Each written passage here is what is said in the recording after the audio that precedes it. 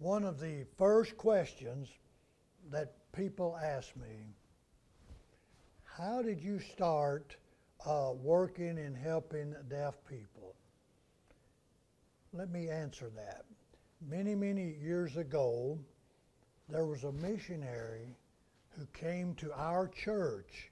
I was the pastor of the church.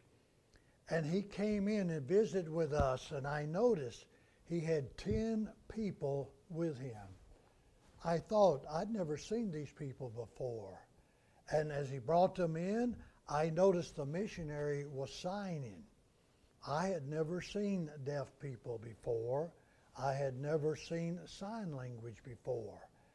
And uh, as I preached, the missionary, his name was uh, Clifford Smith, and he interpreted for me. And I noticed and looked and watched, and it was strange for me.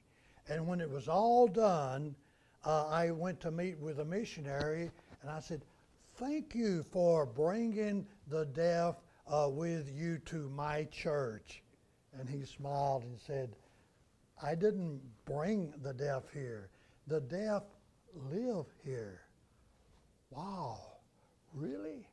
I never knew that. Well, the missionary left, but the deaf stayed. They live here. And God touched my heart. You're a pastor for all the people. You need to visit with the deaf. And I finally decided I would visit with the deaf. But first, I decided to do alone. I didn't want to feel awkward or embarrassed with hearing people with me. And so, how? I got an idea. Oh, I wrote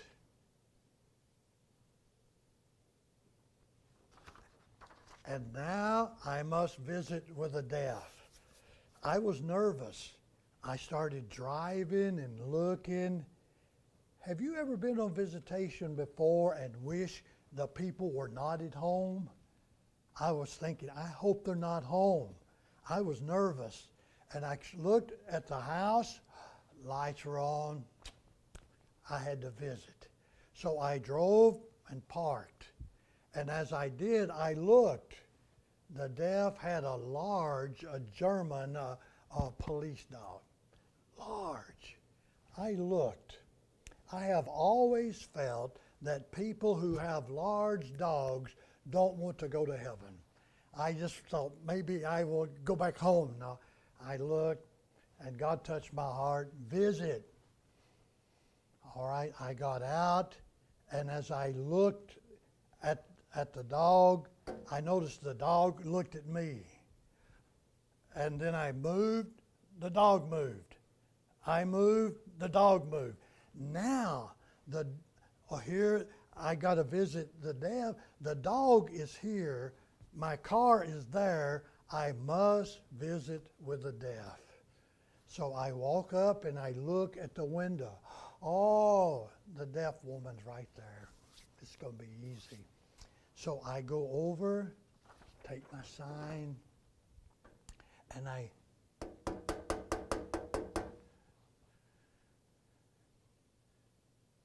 nothing. I can see the deaf woman.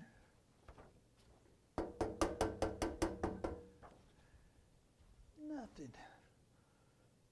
Well, dumb, stupid me, the deaf can't hear you knock on the door. I didn't know that. Mm. So I walked over to the window.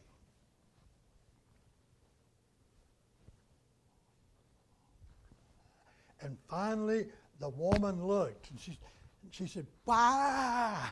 Scared me. I never heard voice of deaf people before.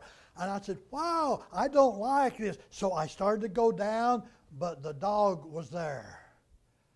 I noticed that the dog did not bark, he didn't get mad, he just grinned.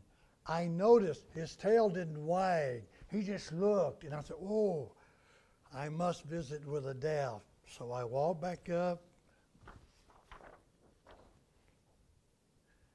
and the deaf woman comes, opens the door. I say,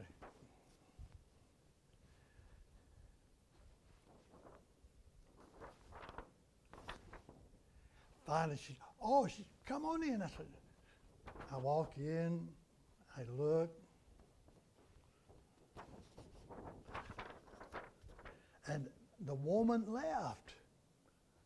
I'm alone. She brought her husband. Oh! And three of us, I said,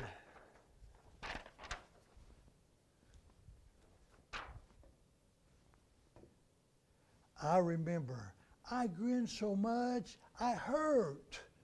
And finally, I got a pen.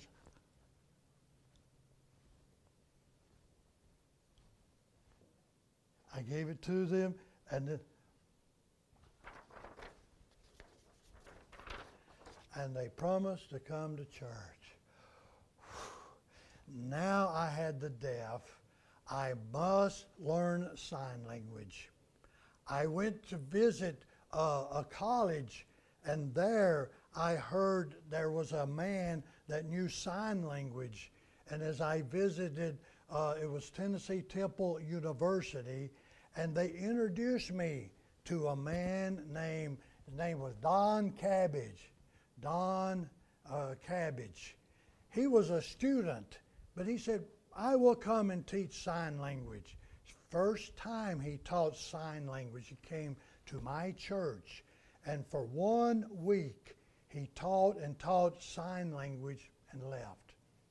And I, he told me later, when I left, I said, Lord, you need to help those people. I can't. and God did. God helped us, and we started the uh, uh, ministry with the deaf. Wow. We had an interpreter that was learning, uh, a teacher, and I would preach, and I'd learn in sign language myself, and the deaf came, and it was wonderful. Then later, we had some deaf to get saved and join the church. The second time God touched my heart, a man, one of the first to join our church, his name was Alvin. Sign name was Alvin. And one night he stood in sign language and sung the song, More, More About Jesus Would I Know. And really, I said, I wept. God touched my heart. The deaf need to know more about Jesus Christ. They need to know more. It really touched my heart. And I said, uh, uh Lord, how? How? And God touched my heart. The deaf can read and you can write and you can mail and send out. So I got the idea. We will start a newspaper for the deaf. And then later we did tracts for the deaf. Later we did Bible courses for the deaf. And the newspaper was growing and growing. All soon we had 5,000 people. We started with 50 just 50, but it grew to more than 5,000 people receiving it. And God began to bless, and it began to grow out more and more. And then uh, we went to visit with the uh, Bill Rice Ranch uh, in uh, uh, Tennessee, a camp for the deaf. Bill Rice Ranch. Uh, we felt it would be good to help the deaf there. I was a pastor, and we took our, our deaf to the Bill Rice Ranch. And my responsibility at night, I would have devotion with the deaf. I remember there was time to have devotion about 10 o'clock, and I, I taught them and taught them, and I said, uh, uh, if you're finished saved, you ought to thank God. Many, many deaf have never, never known how to be saved. And I said, good night, go to sleep. But the deaf, I turned the lights out and I felt finished. But later, I could hear whoop, whoop, whoop, whoop, whoop, whoop, whoop, whoop, whoop. I how? The deaf had flashlights. And they would put the flashlights and sign and sign. And I went over and I got them and got them and got them. And I said, now finish. I used a good sign. I said, look at this. Finish. And finally put them down. Finish. I looked and looked. One deaf boy. Whoop, whoop, whoop, whoop, whoop. Sounded like a bird. Whoop, whoop, whoop, whoop, whoop. And, and I knew it was a deaf. I walked over. I looked. I could hear. He's under the covers. But I could hear the words. The deaf boy was praying.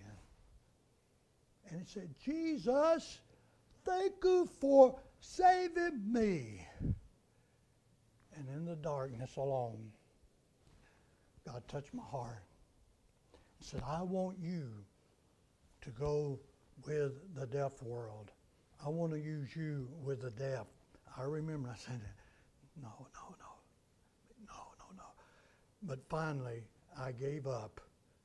I resigned my church and became a missionary.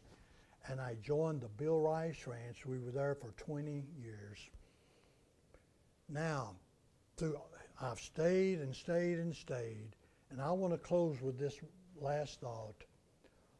Why do I stay faithful? Why did I continue?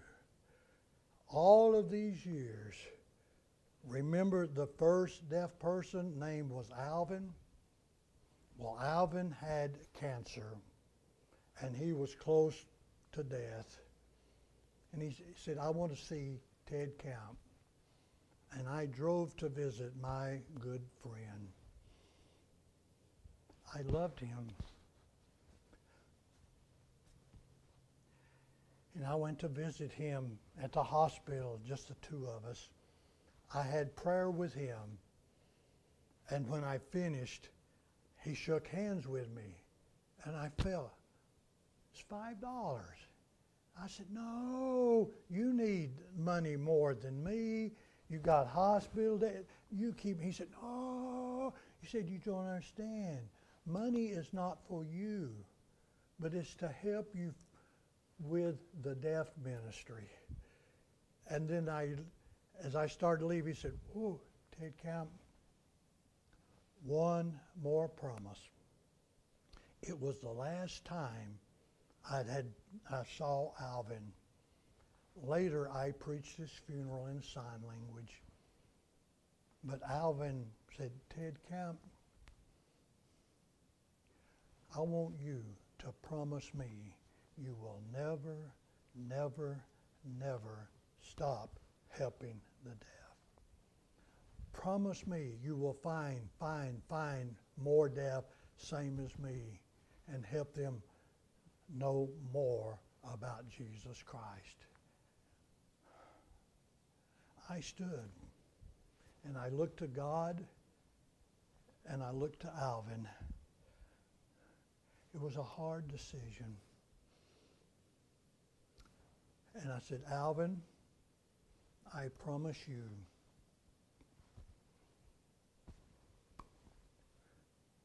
I will never, never, never stop helping the deaf. Now, I want you to think about my story.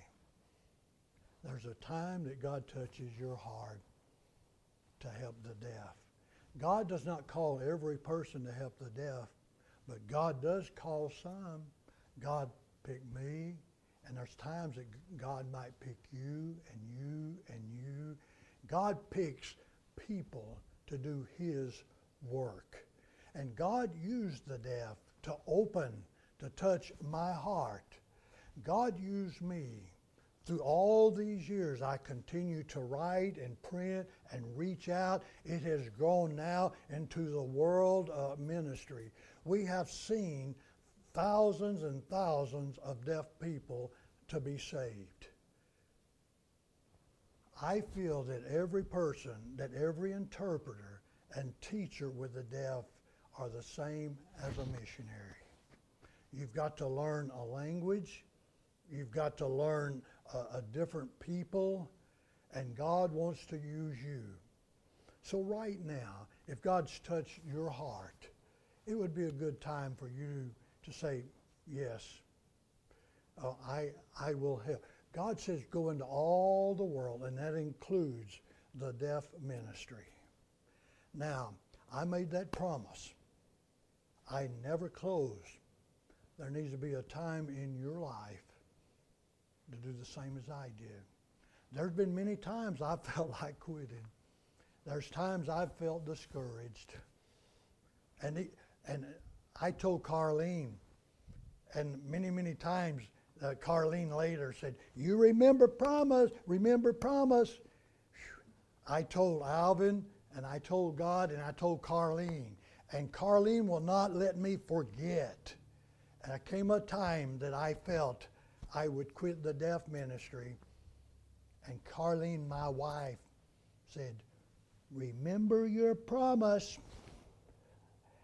So now, about 50 years, we've continued and continued uh, because I, God called me, God touched my heart, God used a little deaf boy, God used other people, and now I promise I will not stop, I will not quit, I'll not give up.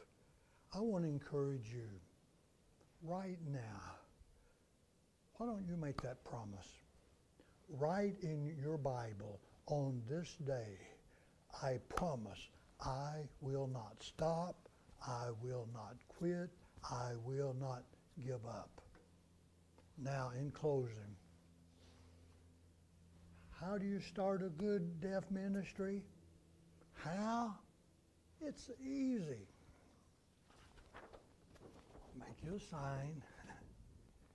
Go out and visit the deaf and grin until it hurts. And it breaks your heart when you see the need of the deaf people. God can use, if God uses me, God can use you. And it's wonderful. I look back now. Thank God for the time the missionary came to our church. Thank God for the time Alvin sung more about Jesus Christ. Thankful for the little deaf boy. Thank you for saving me. Thank you for the promise that Alvin made with him that I would not stop, quit, or give up. This is his work. Let's do more to change the deaf world for Christ. Can you be used of God? Yes. There comes a time when you need to surrender, and there comes a time when you need to promise, I will not stop, quit, or give up. God bless you.